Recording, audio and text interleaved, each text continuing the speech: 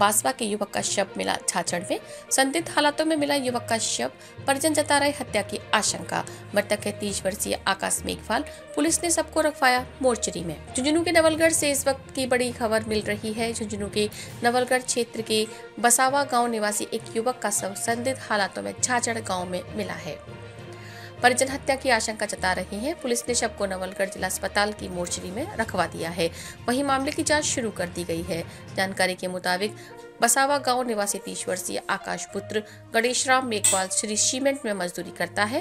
गुरुवार शाम को चार बजे वह घर में नाइट ड्यूटी की बात कहकर बाइक लेकर घर से निकला था। सुबह परिजनों के पास सूचना आई कि आकाश की सड़क हादसे में मौत हो गई है, जिसके बाद परिजन झाझड़ गाँव की गोगामेड़ी के पास मौके पर पहुँचे तो आकाश की बाइक एक साइड में खड़ी थी और आकाश की लाश पड़ी हुई थी।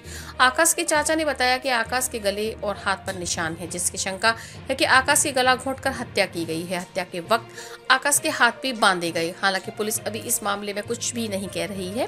पुलिस परिजनों से रिपोर्ट प्राप्त होने के बाद ही कुछ कहेगी, लेकिन आकाश की मौत को लेकर हत्या का संदेह जताया जा रहा है। आपको बता दें कि आकाश के एक छह साल की बेटी और दो साल का बेटा है।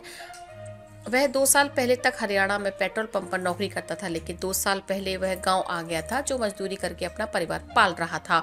आकाश का छोटा भाई किशोर भी बाहर रहता है, वो कारपेंटर का काम करता है, जबकि पिता गणेश राम भी बाहर किसी पेट्रोल पंप पर नौकरी करता है।